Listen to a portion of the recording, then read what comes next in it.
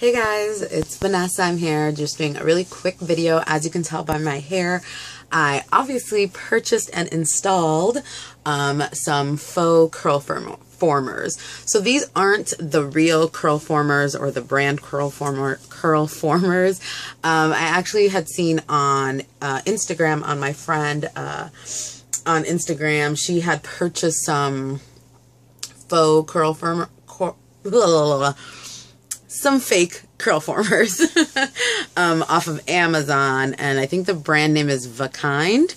And I picked up the same pack, and you got a pack of 40 of them for about 16 bucks, um, which I thought was a really good deal. And um, I have a Prime account, so the shipping was like free and fast. So that's always good. And even if you don't have a Prime account, it's pretty good shipping.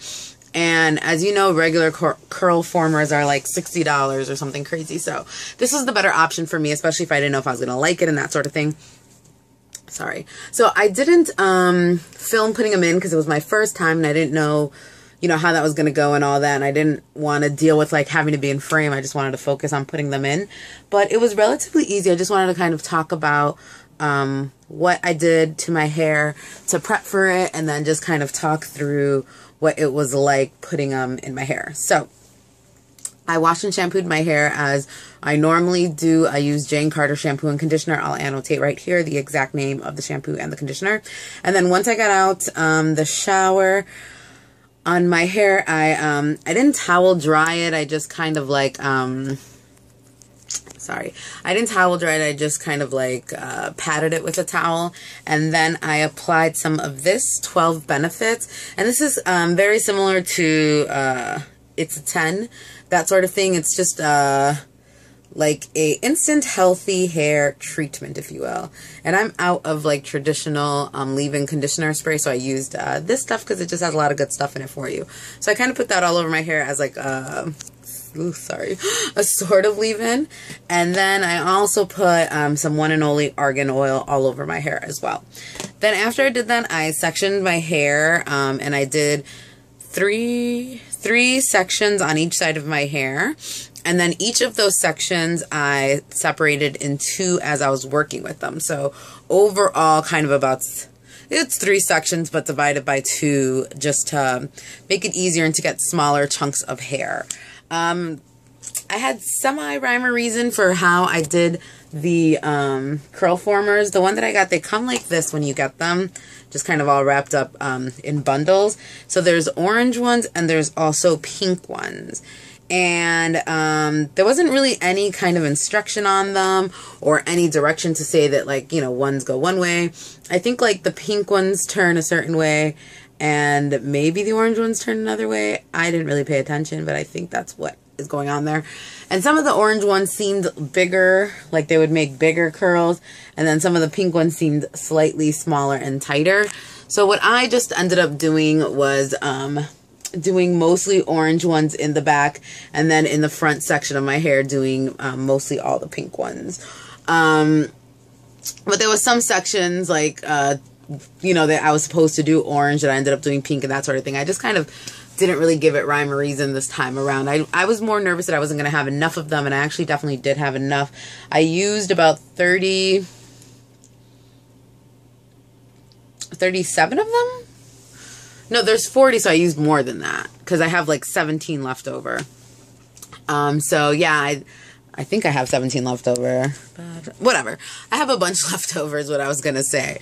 Um, I thought I was going to not have enough, but I ended up having a lot of uh, pink ones left over, and then I have a whole pack of uh, like five or so um, orange ones left over. Um, installing them, oh, okay, so, and then I separated the hair, like I said, and then when I was working on each section, I separated each section into two um, sections. Sorry I'm moving around so much. And then I added more product to my hair. And what I added right before I installed a curl former to each section was the Garnier um, Pure Clean Smoothing Cream. And I really like this stuff. It's 98% naturally derived, Dike. Um, but I've been using it for a long time and you can um, usually around this time of year find it really cheap at the drugstore. So I put this just as a smoothing cream to ensure that, you know, the sections are as smooth as possible. And then to sort of set the curl and help it stay, um, I also use the Jane Carter Wrap and Roll um, uh, wrapping solution foam. So I would do that. I would coat the hair and then I would install it. You get a hook um, that comes with the curl former. Avi and I just went ahead and installed it and it was pretty easy um, to do to be honest. I thought it was going to be much harder. It did take a long time. It took me about an hour, a little over an hour to put um, all of them in my hair but I thought it was going to be harder and it wasn't that hard actually. Um, most, it kind of went pretty quick. The second half went faster than the first half.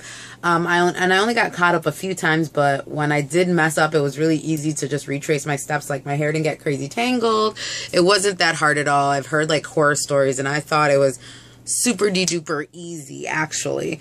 The only thing I don't like about it, and I don't know if the real curl former hook is like this, but if you can see the hook, the way it's like a hook and then this little tiny hook and then this little tiny space is like where your hair is supposed to go.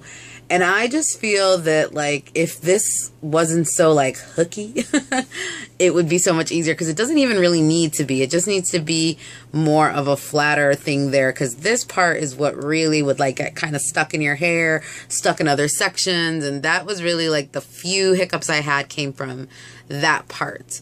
Um, but feeding the hook through the hair was super easy.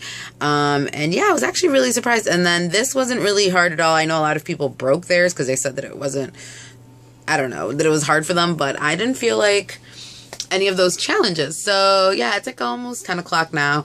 Um, I'm just going to keep these in until tomorrow as long as I can and then I'll take them out and of course I will come back and let you know the results but overall um installing them in my hair was like really easy. I had no problems um, with it. I mean, no problems is an exaggeration. There was a couple sections that it was a little tough, but I found it really easy. And I think that at this phase, I would say a success. So it obviously won't be a full success until I see the results tomorrow, but it really wasn't that bad.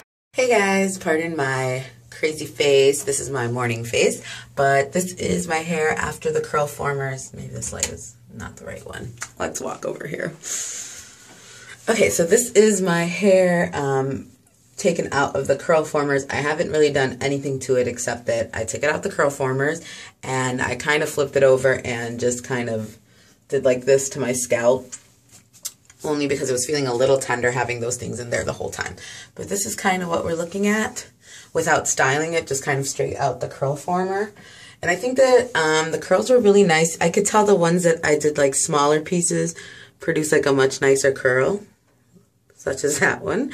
And then like, you know, ones that were like a little more careless, I could kind of tell like this one. Um, but yeah, the curls came out nice. I think I'm just at that phase where, and I've noticed this with a lot of um, curl former videos I watch where people are like really excited to do it.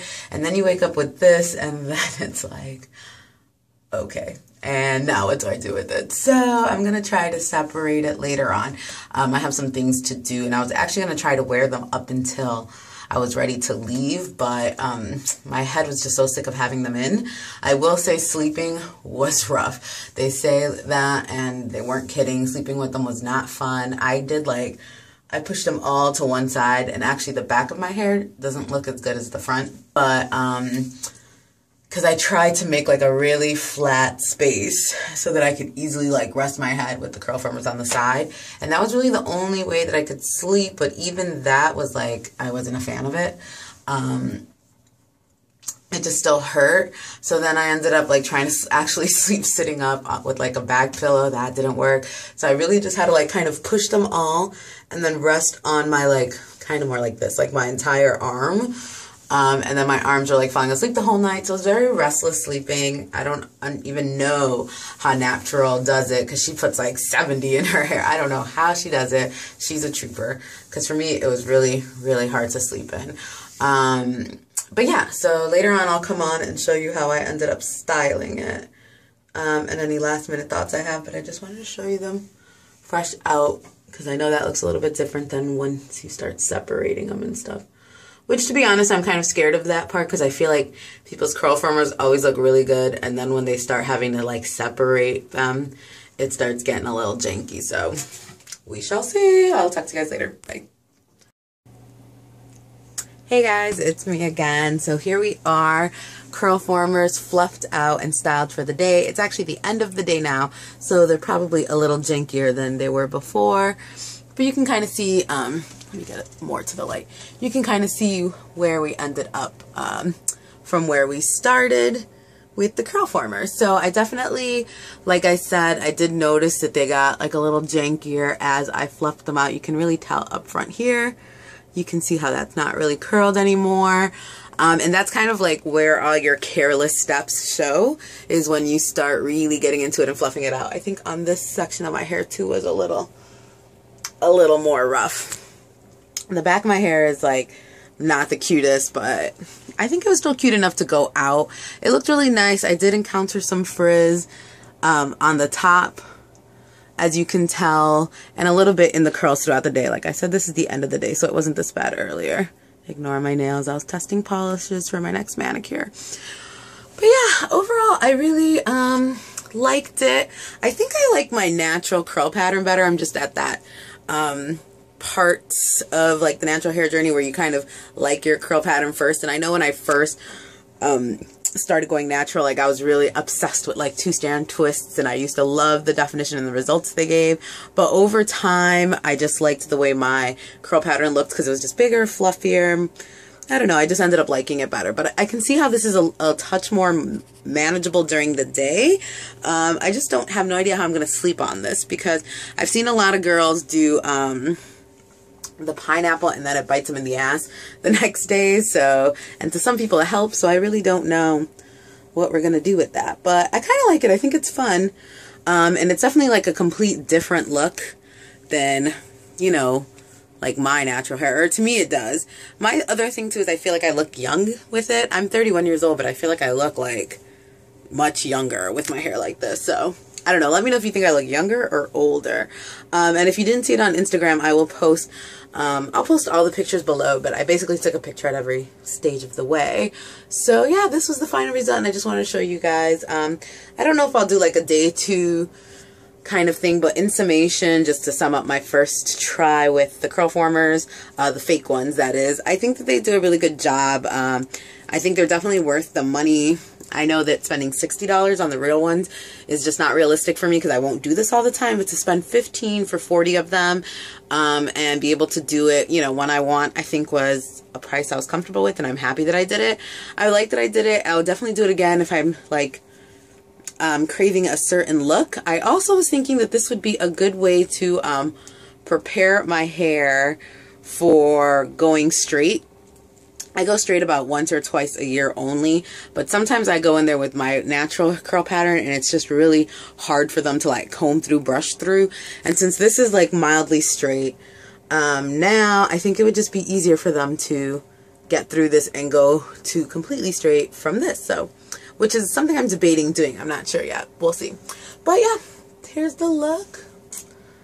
I liked it. I think I gave myself a like B minus, maybe a C plus plus uh, for my first attempt. Uh, next time I'll try different things to just see like, you know, see how it goes, um, see what I get the best results from and that sort of thing. But let me know down below if you've tried curl formers. Um, if you liked this look on me, do you prefer my natural hair? I can handle it, whichever one you say. Um, be sure to check on Instagram below. You can get a better look at this um, freshly styled as well as like the curl formers when I first took them out as well as my curl formers right after I put them in. So that is where you should check. Um, otherwise, thank you for watching. Let me know again down below if you have any other questions because I know I'm a little cray cray with this video. So yeah, have a good one and I'll see you guys soon. Bye.